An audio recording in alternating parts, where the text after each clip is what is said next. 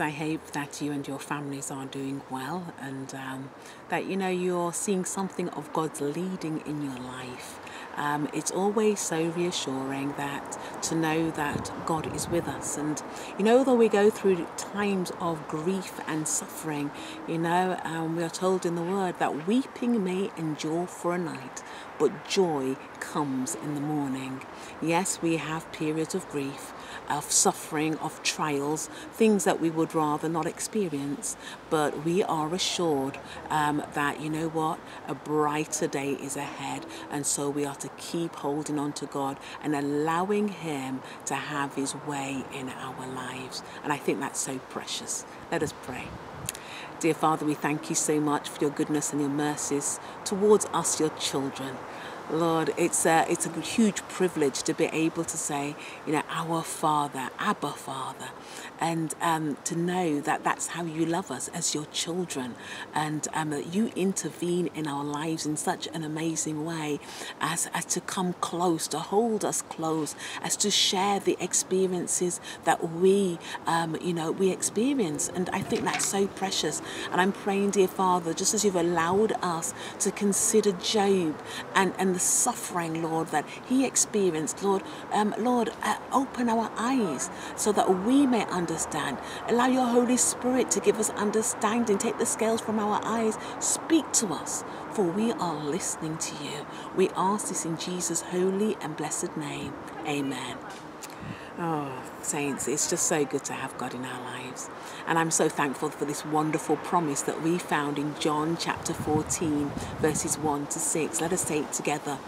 Do not let your hearts be troubled. You believe in God, believe also in me. My Father's house has many rooms. If it were not so, would I have told you that I'm going there to prepare a place for you? And if I go and prepare a place for you, I will come back and take you to be with me, that you also may be where I am. You know the way to the place I'm going. Thomas said, Lord, we don't know where you're going, so how can we know the way?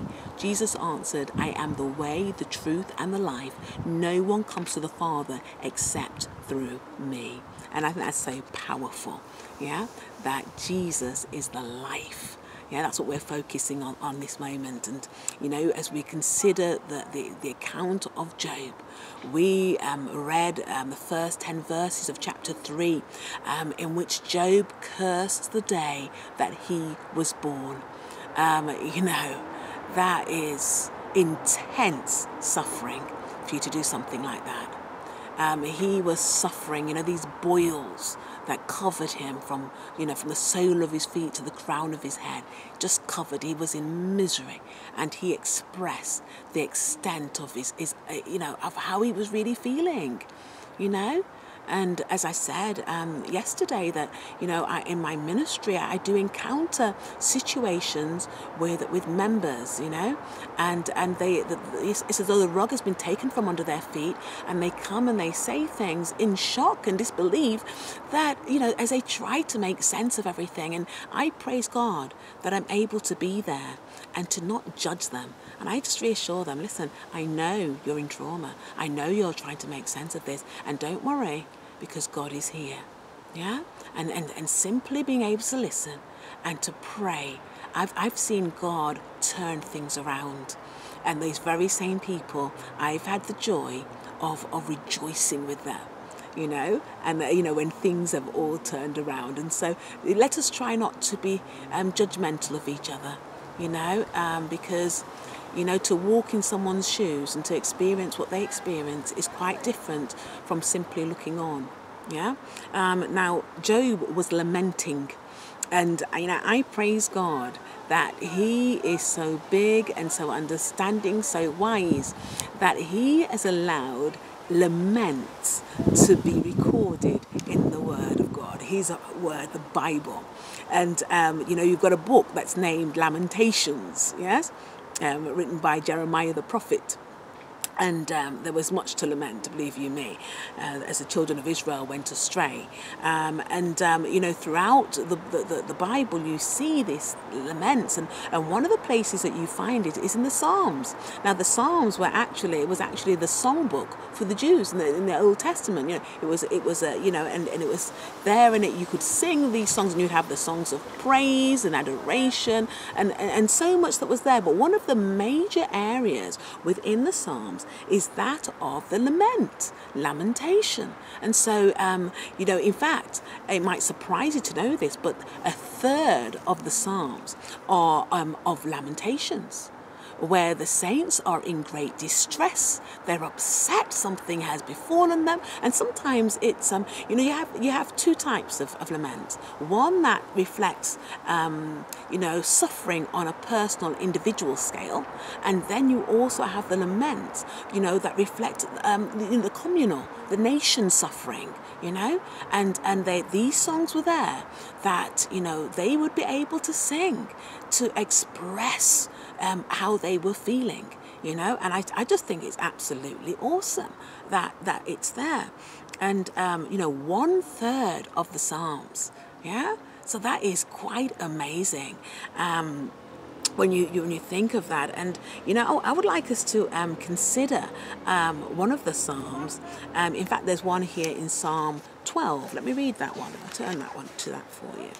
Psalm 12 a psalm of lament. Let's see what it says. Let's get to it. Here it is. It's a psalm of David, yeah? and it says, um, Help, Lord, for no one is faithful anymore. Those who are loyal have vanished from me, uh, from the human race, sorry. Everyone lies to their neighbour. They flatter with their lips, uh, but harbour deception in their hearts. May the Lord silence all flattering lips and every boastful tongue. Those who say, By our tongues we will prevail, our own lips will defend us. Who is Lord over us? Because the poor are plundered and the needy groan. I will now arise, says the Lord. I will protect them from those who malign them. Um, and the words of the Lord are flawless, like silver purified in a crucible, like gold refined seven times. You, Lord, will keep the needy safe and will protect protect us forever from the wicked who freely, freely strut about when what is vile is honoured by the human race.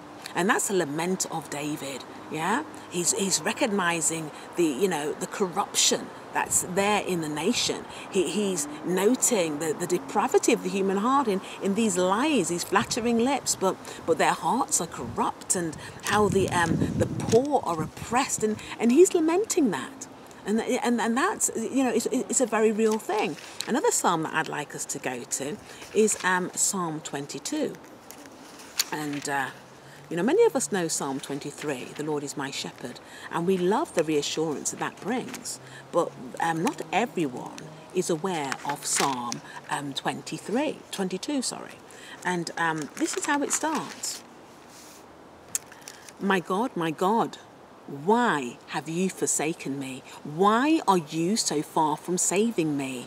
Um, so far from my cries of anguish. My God, I cry out day, um, but you do not answer me. By night, but I find no rest. Yet you are enthroned as the Holy One.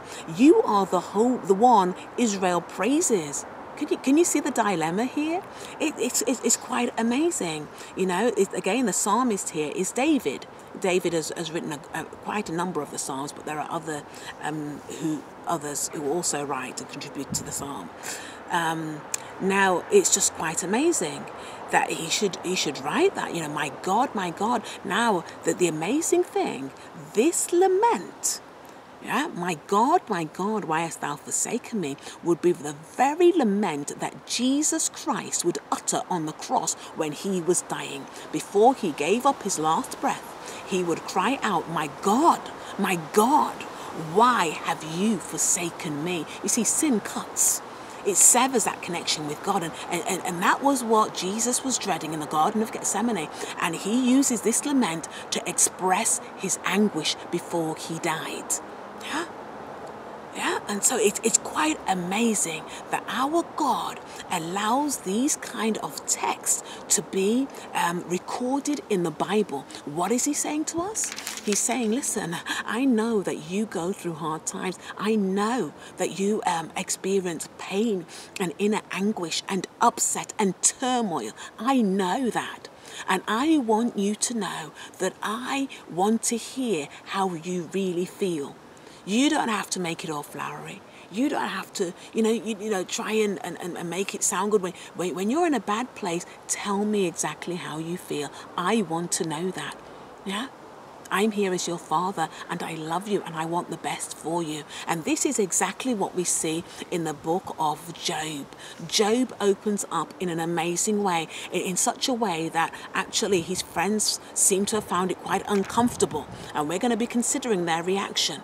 And, and, and, and for many of us, when we see people um, um, lament and we hear them lament in their suffering, sometimes we find it uncomfortable. But recognize that God does not.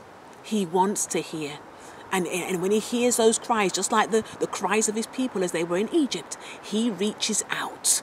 He intervenes and he's looking for a way of saving his children.